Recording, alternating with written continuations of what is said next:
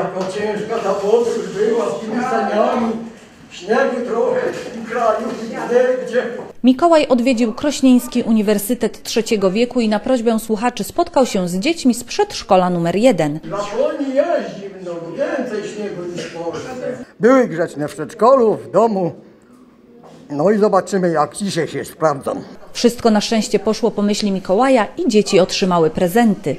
To są fajne niespodzianki niż może słodycze. Dostałem maskę, dostałem czekoladę, pewnie dostaliśmy też jakieś tam Lego albo coś takiego. Maska?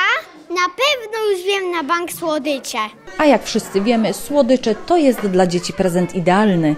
Słodycze są fajne, bo dzieci lubią je, a rodzice im nie kupują. A jak dostaniesz od Mikołaja, to będziesz mógł jeść? Tak. Czyli tak w skrócie, Mikołaj to fajny gość. Przynosi prezenty.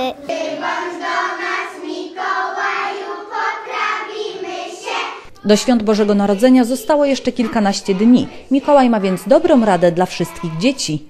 Na pewno napisać list, na pewno pomagać rodzicom, przeprosić, które były niegrzeczne.